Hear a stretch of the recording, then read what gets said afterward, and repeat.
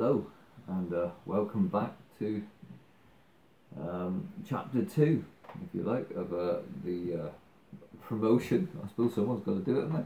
Of this album. It's called um, LMAO Tired. You can buy it from www.sphynx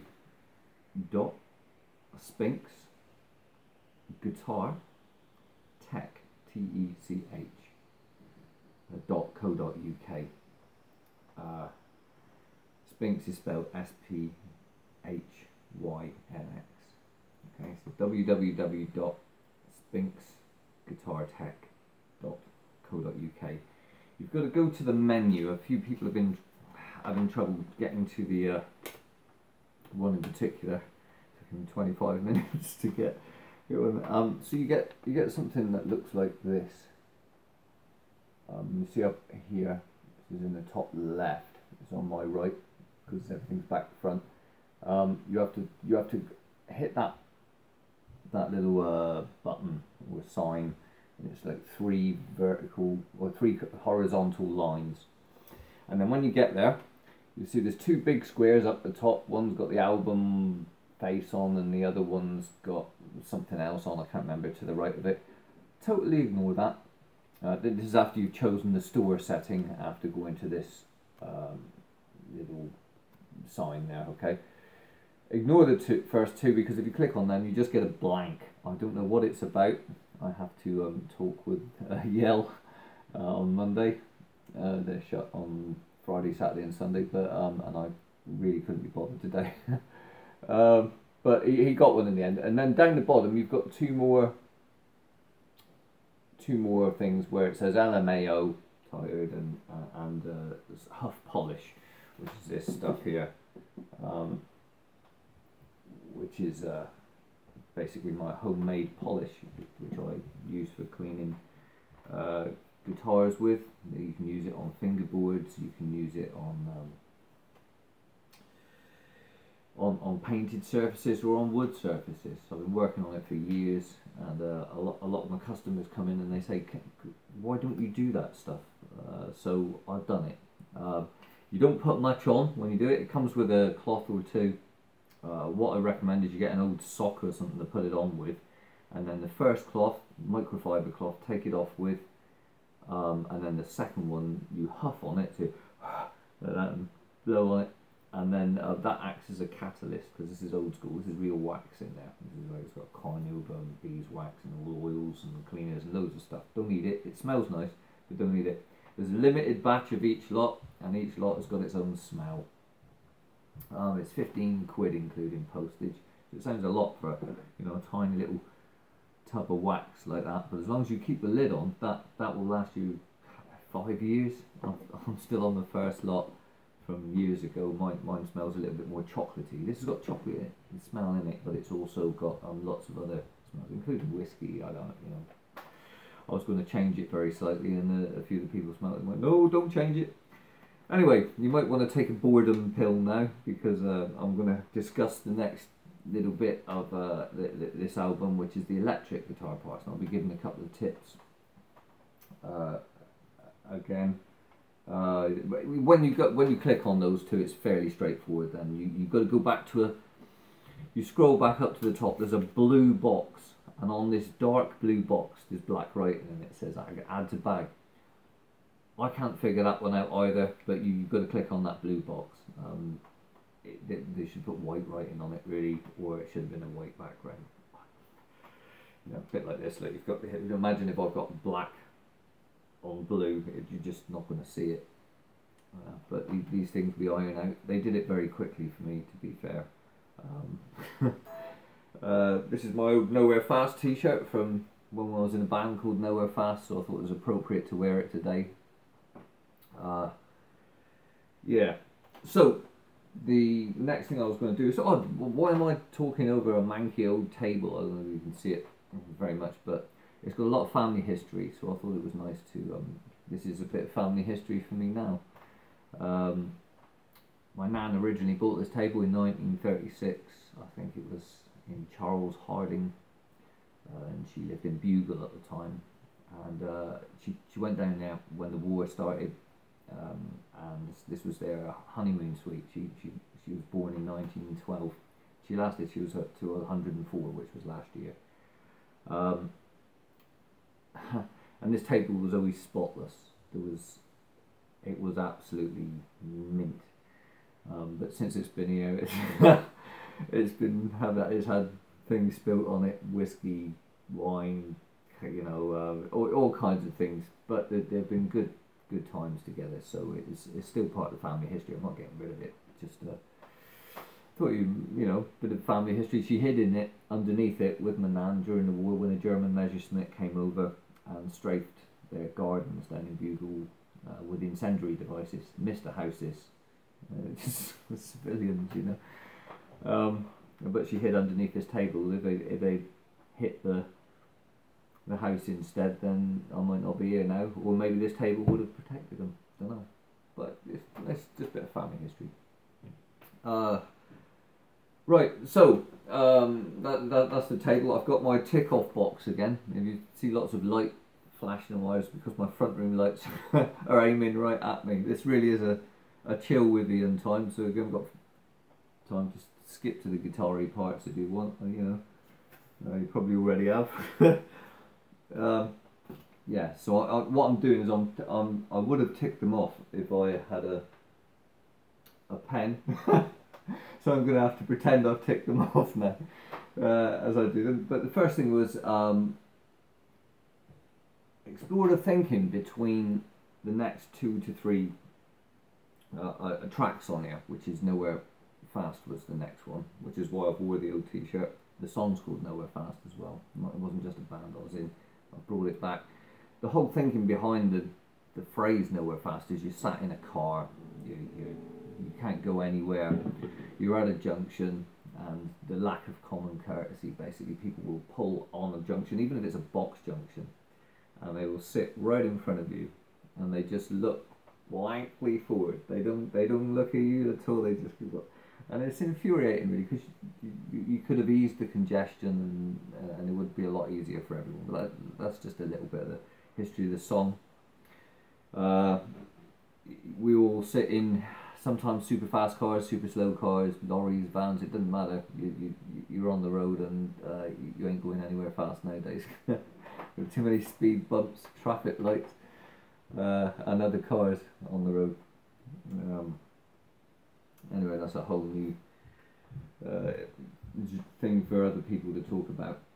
Right, I'd like to say thank you on here as well for uh, Rory, who's my brother. He's from RWP Bass Tuition, based in Plymouth, based, um, who did the uh, basing on 95% of this album. He was terrific.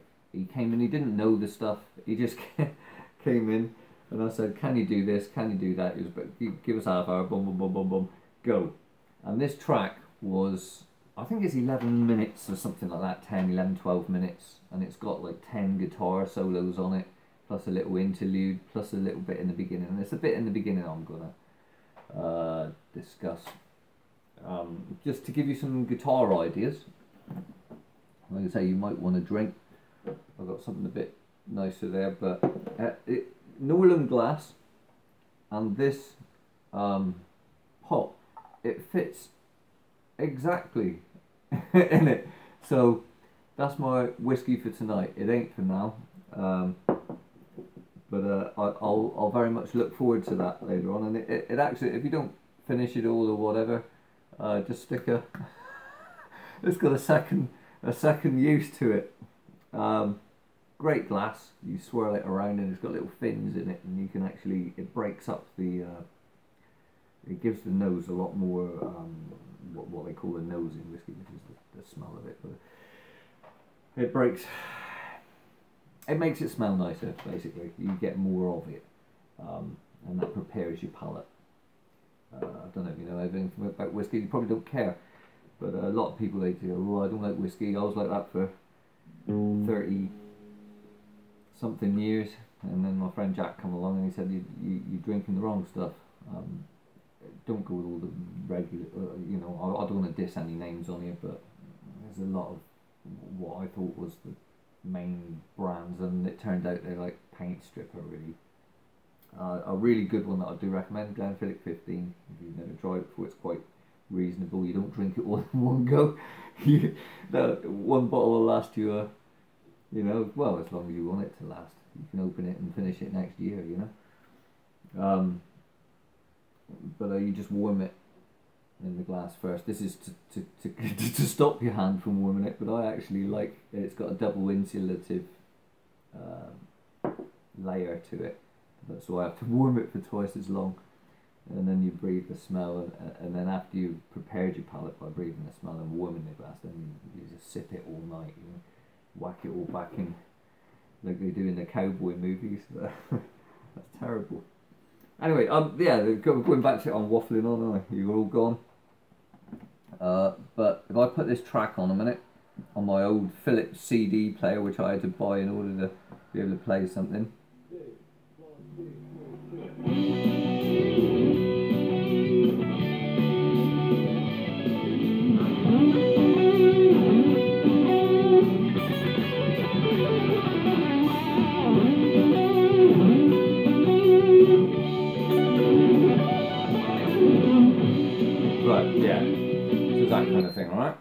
So what you've got there is a. The first little interesting thing is accent displacement. Uh, if I did the same thing twice, if I've got my foot tapping, I go. It's a It's the same thing, and a lot of guitarists I've noticed over the years, they start on the same note all the time. The same beat is one. It's Don't stretch something, change something. Right, so here I've got so the second note is longer. Yeah? So just by changing that one tiny inflection, you give something a whole different feel. Okay, so you could take one of my um, favourite things that I, you know, talk about uh, probably too much is uh, just accent displacement, Ch- changing the, the, the, the, rhythm of something. And uh, I read somewhere years and years ago uh, that they said, "What can you make with three notes?" And I thought, well. And then you go, I want to go somewhere else now. No, no, no. If you if you think of a phrase, and I, I used to annoy my wife with, with this quite a lot, to say no money because we had no money. So I used to go no money, no money, no money, no money, no money, no money. Okay, and you can, as many ways as you can say it. No, money, no, money, no money. Okay, as many ways as you can say it, and believe me, I, get chased around the house with it. Um, you, you can play it. So guitar is a language, so you could go no money, no money, no money, no money, huh, no money, huh, no, no money, huh, no money, no money, no, huh, money, no money, huh, no money, huh. Yeah, you get the idea? So uh, no, no, no, no, no money, no money, no, no, no, no yeah. So you can you can end up with a, a real array of really interesting uh, rhythms. I don't do it on this track so much. I do it on one called Silverlight, uh, which is I'm counting backwards towards the original one, towards the, the, the, start of the album. I'm going from the finish. So I've gone through the acoustic section. This is the section where I really go for it on the guitar. Um, I'm not capable today. I'm learning gypsy jazz at the same time, it messes you picking up with regular picking, basically. Uh, so don't expect too much today, but I'm going to try and show you some of those ideas. That's one, accent displacement, right? So it's, which comes from, look, uh, remember yesterday I talked about this A minor shape.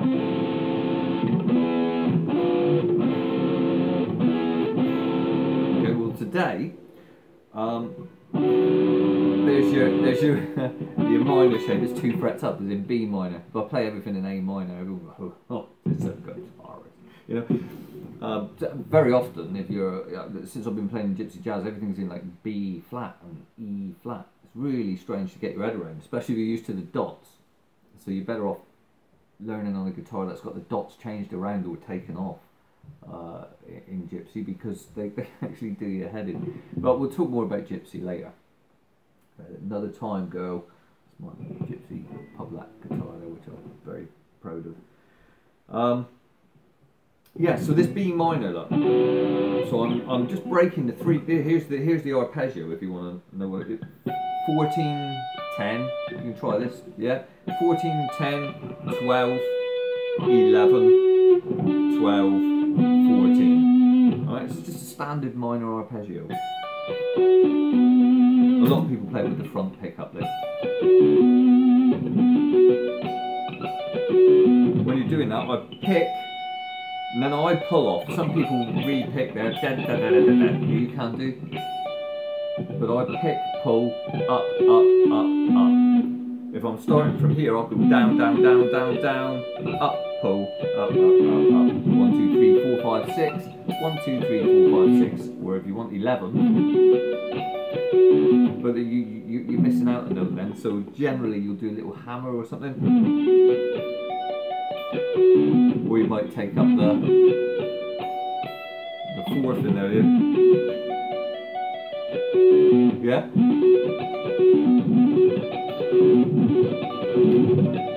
Yeah, you've heard all the neoclassical players do that.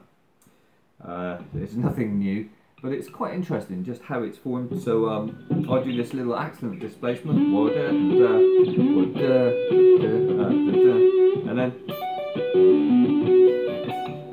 and then I come down to a major. Or, I think I'll do that, yeah. So, right, which is, and that's a, it's a C shape. There's a C shape there. This is a kind of like a D minor shape, really. There, that. And now we're going down to a D major shape.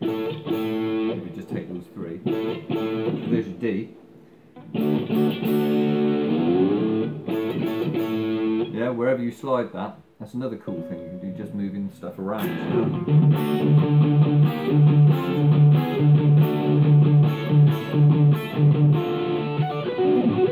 Yeah, do that. So that the, the little break at the start. Uh,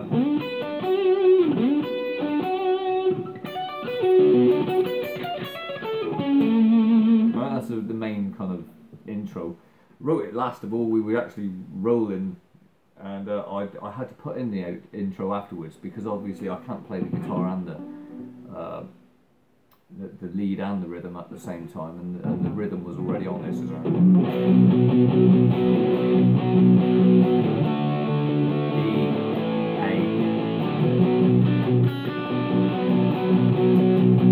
Uh, um, G. I think I used that G.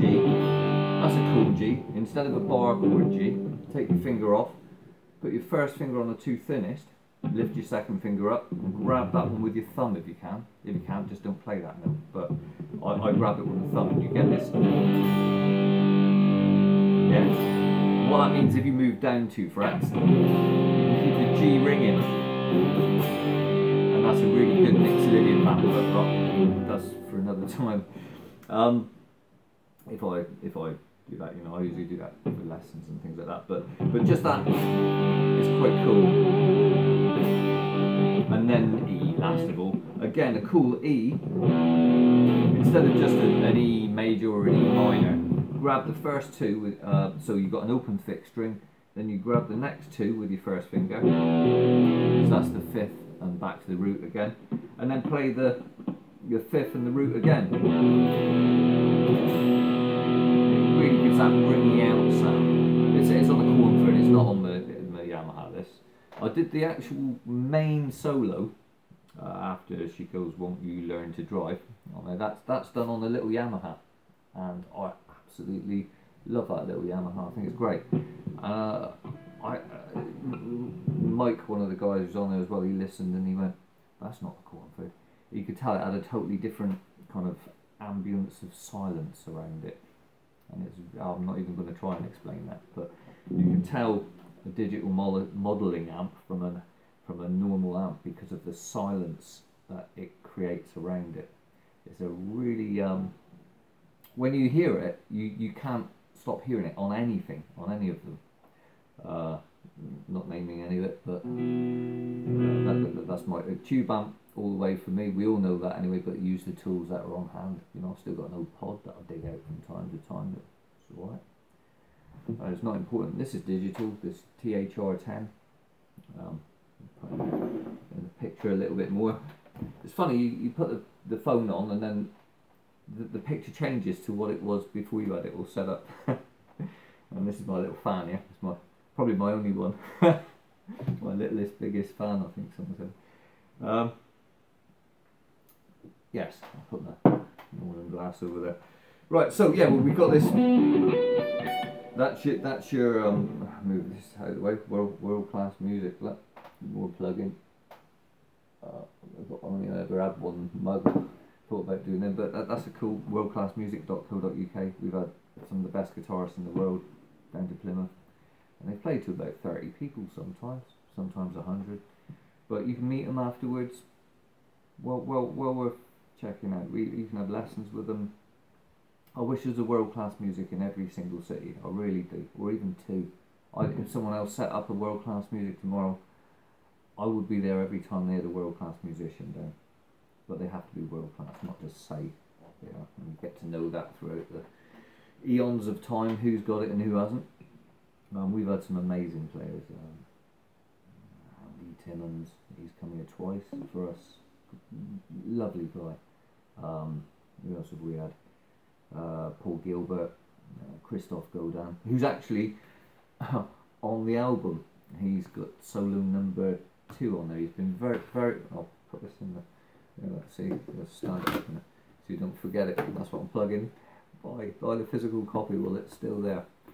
It's a little bit expensive, yeah, it's twelve pound, and then there's another three quid for postage.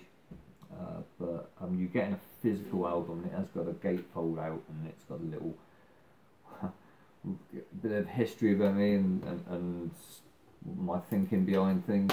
And it's also got some pictures in there of, of the guys who are on it and girls um, and as well as Rory, who, going back to that before I ramble too much, well, I've already rambled too much, but um, he, he did 95% of the bass, and he did this in one kind of take for the whole thing. And we, we, we had about three run throughs, and I can't remember whether we took take one, take two, or take three, but it was all pretty much done in one take and uh, they were playing for like 10, 11, 12 minutes solid. Rory and Kate. Uh, Kate Rogers is the drummer on this track, and she did a phenomenal job.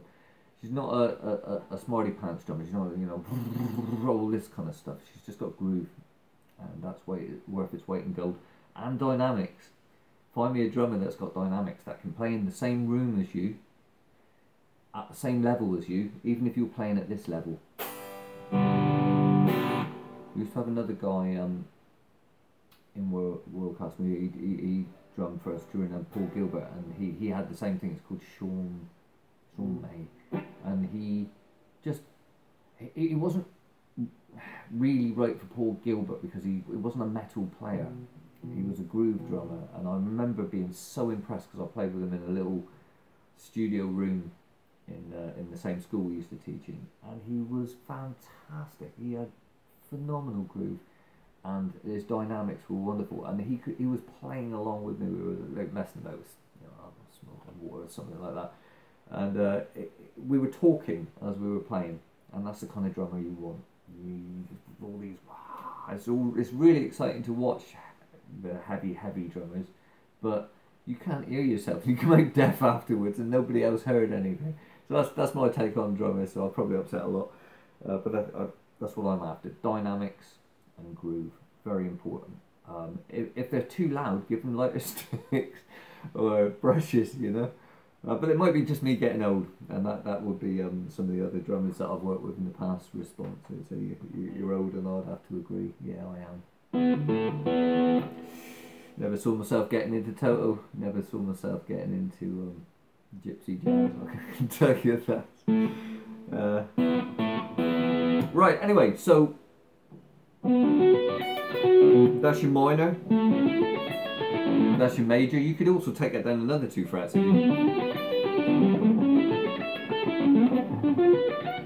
Okay, you could also go up again and uh, do that one. That's a 12 and 9. That's an F sharp. Or, yeah. We'll, we'll call it an F sharp for now. Uh, diminished. Every three frets. So you've got this. Uh,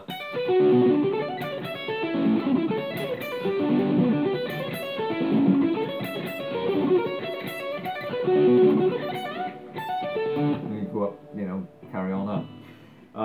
So that so that's that's that's one of the things, right?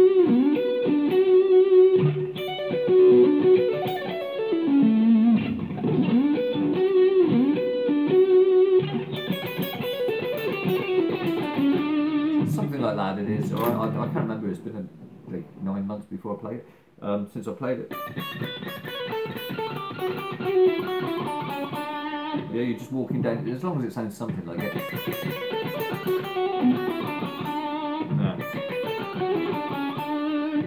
So yeah, Kate Rogers, and she uh, works at or owns, I don't know, uh, the Early Energy Learning Centre, I think it is, based in uh, just over the bridge in Cornwall.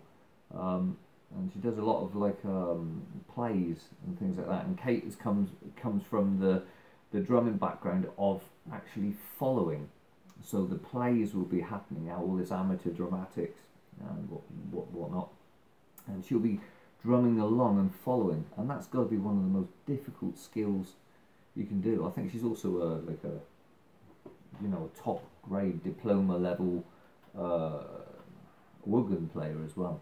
But uh, so she she really knows her stuff. So there's someone to get hold of for for drumming.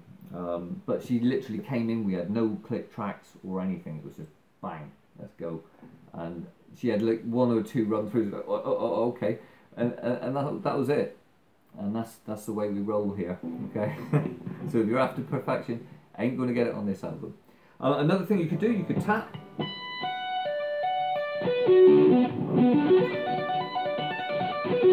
Well, that's all the smarty, smarty, you know, flash. Alright.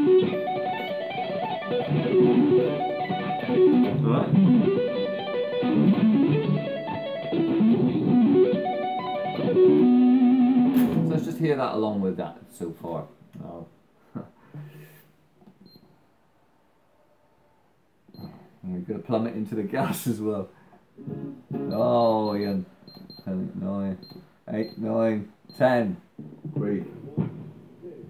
1, 2, 3, 4.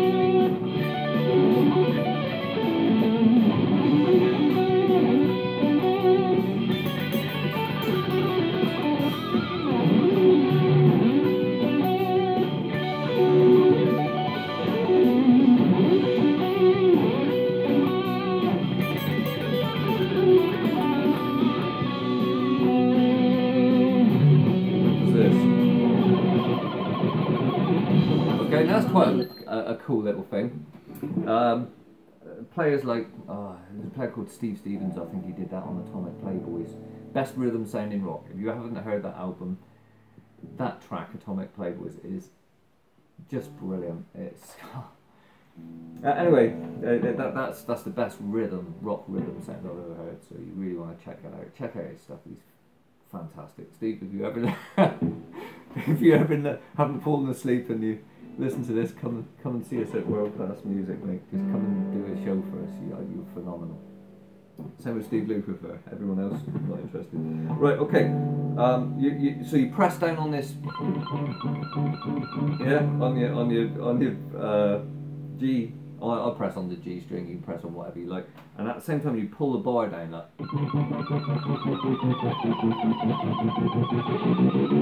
yeah, I don't think he's the first person. I think Brad Gillis and people like that were, were doing it a long time before them.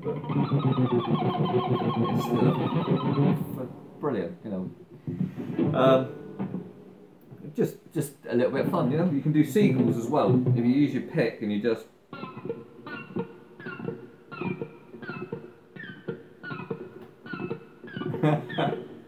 okay, so that's another one you can do. You can also pull your pick back across the strings.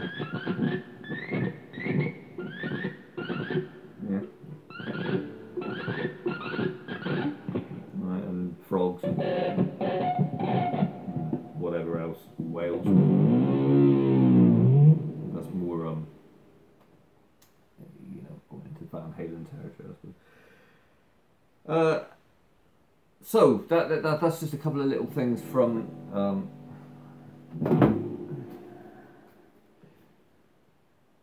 I'm gonna just pause this a minute, just for a second. Yeah, back again. uh, and to get what the heck I was on about here.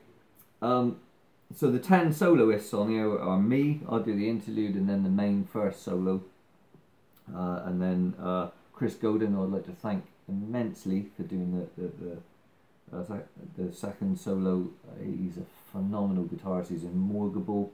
They've come and played for us, and they've given us the best show we've ever had. The, the full show. It's a full band. Uh, we've never laughed so much, and he, he can he can go head to head with, with any guitarist on the planet. He's really good fun. I really recommend him for if, if, if, we, if we ever get him back again, and I'd love to. Um, well worth a watch. He's also got done his own kind of semi jazz metal album called um, Metal Kartoon, and it's one of my favourite albums. It's all in French. I haven't got a clue what they're saying, uh, but I just just like it. So I'm singing along in the car. I don't even know French. I'm rubbish, but uh, I'm singing along in my own made up French. uh, right. So Chris does a second one. Uh, James, another phenomenal player who's on the circuit, and he's a he's a like a session guitarist now. Uh, well worth watching him if you if you get a chance. Uh, I've had the pleasure of knowing these guys for years, and uh, I've watched their advancement in in guitar. Uh, you know, it's just a stunning guitarist, really fast, just about perfect timing. Uh, guitars is life. Loves it. Uh, there's another guy called Mike who's fourth, Mike Ball. uh, and uh, he's um, he's pretty pretty national now, I would say, uh, if not international. Uh, another stunning player. They're all stunning players. Right? They all leave me for dead with this technique stuff. I try and hang on to feel. Uh, you know, years ago I considered myself a technique teacher. Um, and now I realise I'm, I'm a fairly sloppy field player, but um, I have got a little bit of feel, I think. So um, I try and cling on to that, and uh, I like lots of different styles as well. I do recommend that you don't just learn one style, even if you're into just metal, or I was into just punk, you know. But I couldn't help liking ABBA at the same time, and apparently that was wrong. But um, it worked for me. Um, my Adrian then, Adrian Carr, after that another stunning player, um, quite a English kind of guy, uh, but, but, he's got a lot of different talents to him, Adrian. Um, hi AD. Uh, Nathan, he's gone to move to Australia, Nathan Heaney, um, great sixth solo, uh, very Luke, Lukey-ish, you know, brilliant, brilliant stuff. Uh, Ryland was after that, and he did um, number seven. Um, and he's got a great, uh, one of the best vibratos I've heard, and, a real laid back feel, which is important. Then there's a guy called Ian Cook, um, who uh, is a good uh, buddy of mine who, who, he plays in a band called Souls of Misfortune. They're worth a watch. Um, slightly gothy, I suppose, in feel, um, but he's totally not like the rest of them. He he plays just musically. There's no there's no uh, beating around the bush with it, and you get raw kind of meat and potatoes. You know, just very um, Rolling Stonesy ish. You know, got that kind of feel to him. Uh, very uh, just musical, um, but, but but hardly any guitar tricks. Just just from the heart. I like that. Um, and he gets a double length one because uh, a friend of mine who couldn't make it called Lee. Uh, he he'll probably on the next album if I ever do it. Um, but he couldn't make it, so there was a double slot there, and I divided the rest of them up wrong. Some of these, I hope the files are in the right place because uh, we, we we had endless confusion with them. Hence, you know, Emma took over as the sound engineer basically, and she's done amazing since she's got it all back together again, but we weren't sure where some of the files sat, so we're hoping they're right. Um, Daryl, because they were obviously they were sent across the world. Daryl Daryl's gone and moved over to um, Australia as well now. Uh, so he's over there with down there with uh with, with Nathan and Daryl's another stunning player. Great acoustic feel as well. Uh, understands about space. And Andrew Mitchell was the last one. I'd like to thank, and he did. Um, he does like Tommy Emmanuel kind of stuff, that kind of you know crazy uh, finger picking Chet Atkinsy stuff, which I've done, which is so difficult. But Andrew's really on the ball with that, um, so I'd like to thank him for doing that too. Just gonna have a little sip of my um, coffee from a world class music mug, strategically placed there. So that's one of these done. Uh, not many guitar tips for how much talking I'm doing, is there? So let's hope that we can change that. Um, the next track back is any old Morricone. If you say it differently, it sounds like any old Morricone. Well, Morricone, macaroni, any old macaroni. Anyway, uh, macaroni being similar to spaghetti. We all know where that's coming from. This is just my tongue-in-cheek whistle along track, which I hope sticks in your head forever. Uh, it's quite funny when you start whistling that one back and trying to raise the pitch of the whistle. And my brother's an amazing whistler, uh, Rory, who's on him, but um, he can't bend whistles, and I can, but I, I'm not such a good whistler, so that's what you get. Um, so sorry for that. uh, I'm not going to play any old macro- macaroni, but but it's um it's just a little fun track, in a couple of minutes. Uh, and then we've got right um, fade away. Now this is where Claire uh, uh Claire is the singer on um, Nowhere Fast, and she's a stunning singer. Always has been a great voice, but we, we we wanted to do something different on Fade Away. It just sounded a little bit, bit sad, bit so what we got her to do, what we didn't tell her, but we took all the takes that she did and we just overlaid them so everything kind of slithers and snakes into